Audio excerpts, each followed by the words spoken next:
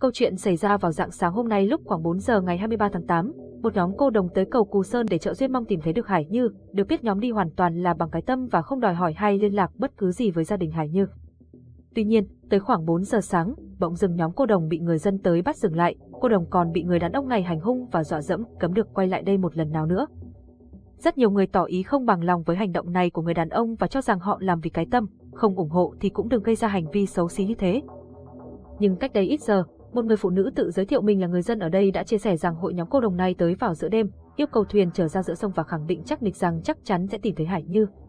Cũng có người đồng ý đưa thuyền ra giữa hồ, nhưng do cô đồng hò hét ầm ĩ, cao rú vang cả góc trời khiến cho có người bực dọc và đã gây ra hành động phá cuộc trợ duyên này. Nếu vào ban sáng mọi người đi làm thì không sao, nhưng tới khuya ai cũng cần được ngủ, việc làm ầm ĩ ở bến sông là gây ảnh hưởng tới tinh thần của mọi người rất nhiều. Hiện sự việc vẫn gây ra luồng tranh cãi lớn, chẳng biết bao giờ thì tìm thấy Hải Như nhưng trước mắt là nảy sinh ra quá nhiều vấn đề rồi, buồn ghê. Mà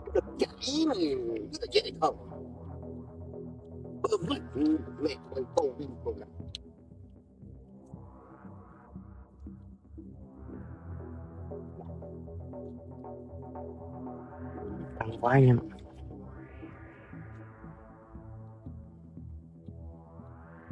Ông vô tôi chứ Ủa, ô tô này.